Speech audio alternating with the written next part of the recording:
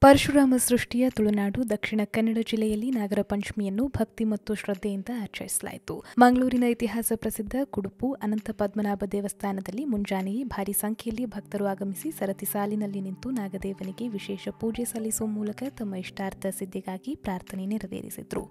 ದೇವಾಳದ ನಾಗಬನದಲ್ಲಿ ನಾಗದೇವರಿಗೆ ದೇವಾಳದ ಪ್ರಧಾನ ಅರ್ಚಕರ ನೇತೃತ್ವದಲ್ಲಿ ಹಾಲು, ಕ್ಷೀರ, ತುಪ್ಪ, ಜೇನಿನೊಂದಿಗೆ ಪಂಚಾಮೃತ ಅಭಿಷೇಕವನ್ನ ಮಾಡಿ ವಿಶೇಷ ಪೂಜೆ ನೆರವೇರಿಸಿದ್ರು. ಈ ದೇವಸ್ಥಾನದಲ್ಲಿ ವಿಶೇಷ ಪೂಜೆ ಸಲ್ಲಿಸಿದ್ರೆ ನಾಗದೋಷ ಪರಿಹಾರ, ಸಂತಾನ ಪ್ರಾಪ್ತಿ ಹಾಗೂ ರೋಗ ರುಜಿನಗಳು ವಾಸಿಯಾಗುತ್ತವೆ ಅನ್ನೋ ನಂಬಿಕೆ ಭಕ್ತರದ್ದು. ಈ ಹಿನ್ನೆಲೆಯಲ್ಲಿ ಪ್ರತಿಯೊಂದು ಕುಟುಂಬವು ನಾಗನ ವಿಗ್ರಹಗಳಿಗೆ ಹಾಲು ಹಾಗೂ ಸಿಯಾಳಾಭಿಷೇಕವನ್ನ ಮಾಡುವ ಮೂಲಕ ನಾಗನ ಮೇಲಿರೋ ನಂಬಿಕೆ ಹಾಗೂ ಭಕ್ತಿಯನ್ನ ಸಾದರಪಡಿಸುತ್ತಿವೆ. ದಕ್ಷಿಣ ಭಾರತದ ಹೆಸರಾಂತ ನಾಗಕ್ಷೇತ್ರವಾದ ಜಿಲ್ಲೆ ಕುಕ್ಕೆ ಸುಬ್ರಹ್ಮಣ್ಯದಲ್ಲಿಯೂ ನಾಗರ ಪಂಚಮಿಯನ್ನ ಅತ್ಯಂತ ಸಡಗರದಿಂದ ಆಚರಿಸಲಾಯಿತು. ದೇಶದೆಲ್ಲೆಡೆಯಿಂದ ಬಂದ ಭಕ್ತಾದಿಗಳು ನಾಗನ ವಿಗ್ರಹಕ್ಕೆ ಹಾಲಿನ ಹಾಗೂ ಸಿಯಾಳಾಭಿಷೇಕ ಮಾಡುವ ಮೂಲಕ ಭಕ್ತಿಯನ್ನ ಸಮರ್ಪಿಸಿದ್ರು. ಕುಕ್ಕೆ ಸುಬ್ರಹ್ಮಣ್ಯದಲ್ಲಿ ಇಂದು ಮುಂಜಾನೆಯಿಂದಲೇ ಭಾರಿ ಸಂಖ್ಯೆಯಲ್ಲಿ ಭಕ್ತಾದಿಗಳು ನೆರೆದಿದ್ದು, ನಾಗನ ವಿಗ್ರಹಕ್ಕೆ ಹಾಲೆರೆಯಲು ಸರತಿ ಸಾಲಿನಲ್ಲಿ ನಿಂತಿರುವುದು ಎಲ್ಲೆಡೆ ಕಂಡುಬರ್ತಿತ್ತು. ದೇವಸ್ಥಾನಗಳಲ್ಲಿ ಮಾತ್ರವಲ್ಲದೆ ಪ್ರತಿಯೊಂದು ಕುಟುಂಬದ ಮೂಲ ಮನೆಗಳಲ್ಲಿಯೂ ನಾಗನಿಗೆ ಹಾಲಿನ ಅಭಿಷೇಕವನ್ನ ಮಾಡುವ ಸಂಪ್ರದಾಯ ತುಳುನಾಡಿನಲ್ಲಿ ಅನಾದಿ ಕಾಲದಿಂದಲೂ ಬೆಳೆದುಕೊಂಡು ಬಂದಿದೆ.